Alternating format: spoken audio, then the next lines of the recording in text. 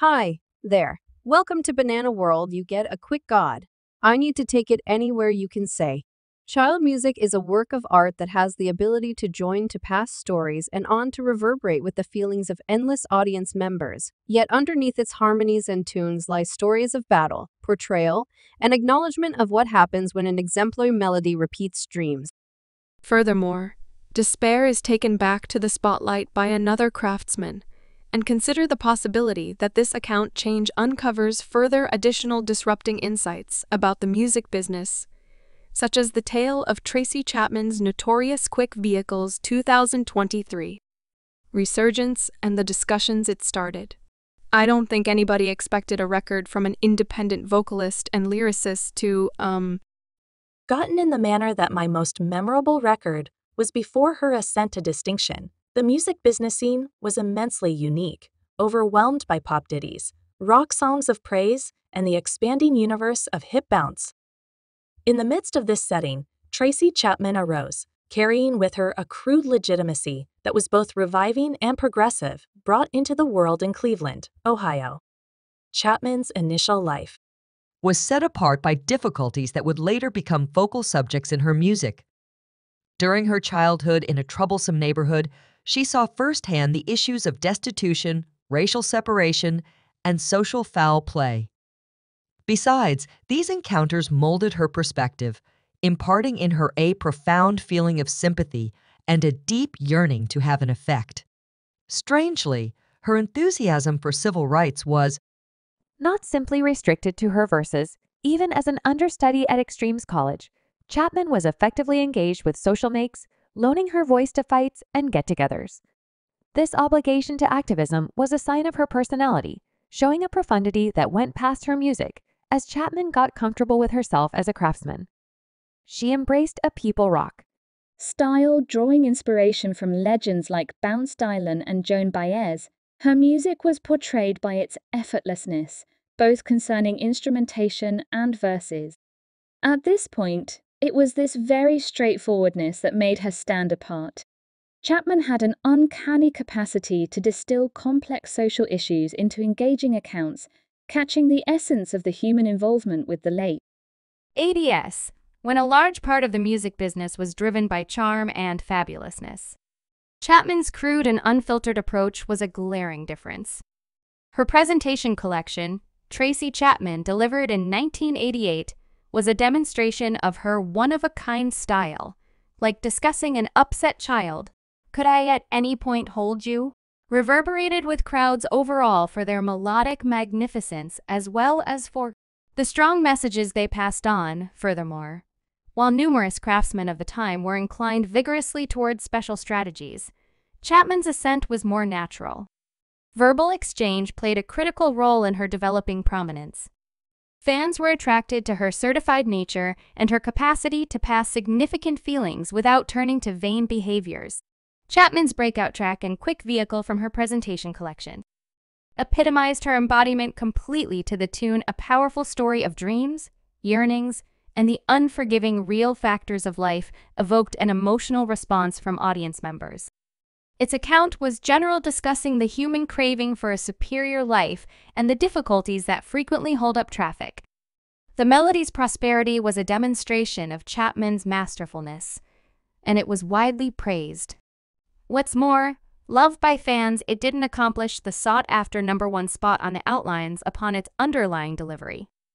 This oversight in numerous ways foreshadowed the difficulties Chapman would face in her profession.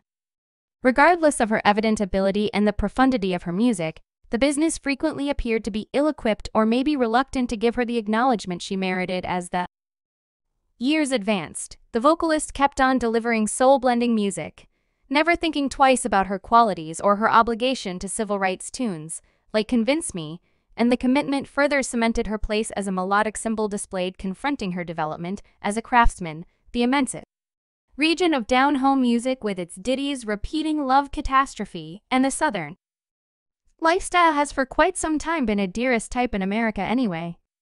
The countenances and voices addressing this sort have generally been white. This racial gap is definitely not a simple happenstance.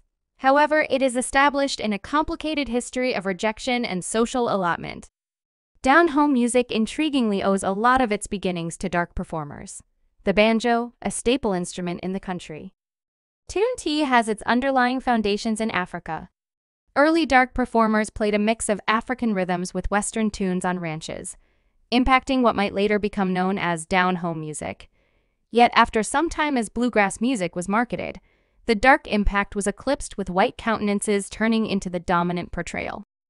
Besides the Grand Ole Opry, a week after week bluegrass music stage, Show in Nashville, Tennessee started during the 1920s and assumed a critical role in molding down home music's personality, while the Opry displayed various gifts and solidified Nashville's status as the bluegrass music capital dark specialists were prominently missing from its stage for a long time.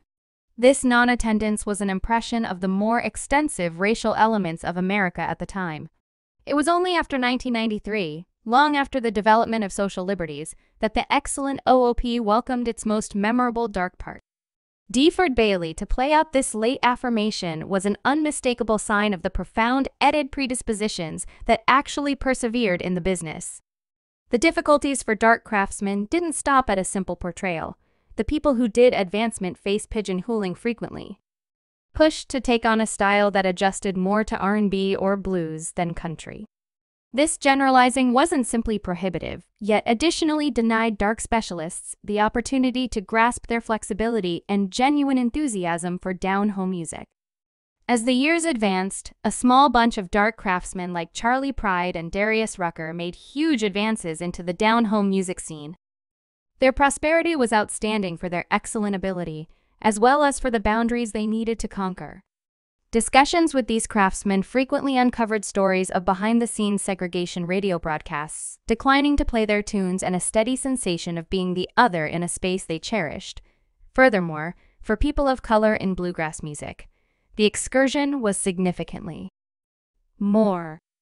Testing the crossing points of race and orientation implied they confronted a two sided deal of predispositions their voices, frequently rich with feeling and passing, were eclipsed by industry inclinations that leaned towards white female craftsmen. This fundamental inclination implied that numerous capable dark female specialists were avoided with regard to standard stories. Their commitments were just recognized in specialty circles. Scenery that Tracy Chapman's quick vehicle arose while her unique melody was not stringently a country number. Its subjects of desire, yearning, and break resounded profoundly with down home music's ethos. Yet, as pre recently featured, the tune, in spite of its worldwide praise, didn't beat out. Everyone else until Luke Brushes, a white craftsman, covered it. This episode wasn't simply an impression of Chapman's process, however, was meaningful of the more extensive battles of dark specialists in down home music. It uncovered the fundamental predispositions that persevered, bringing up awkward issues about portrayal apportionment and the genuine quintessence of bluegrass music. We as a whole realize music isn't simply a type of diversion. It's an impression of society's culture and the individual excursions of the craftsmen. For some, their specialty is profoundly entwined with their character, and their work turns into a stage to communicate challenges or commend parts of their lives. Tracy Chapman is one such craftsman whose valuable encounters fundamentally impacted her music. Curiously, the complexities of Chapman's personality rise above her being a dark craftsman.